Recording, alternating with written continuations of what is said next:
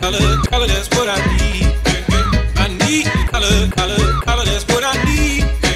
Well, I need color, color, color, that's what I need.